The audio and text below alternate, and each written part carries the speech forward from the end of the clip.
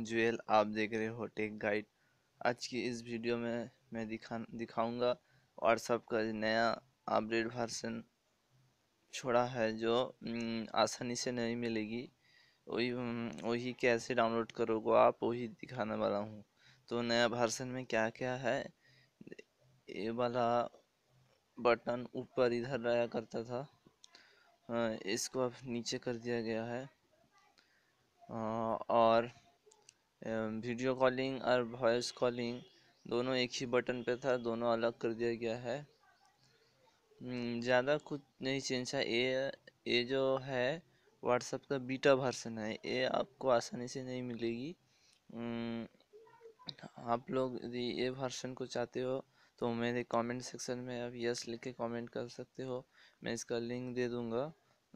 तो सबसे पहले इसका डाउनलोड कैसे होगी, मैं दिखा देता हूँ प्ले स्टोर में जाने के बाद व्हाट्सअप सर्च कीजिए।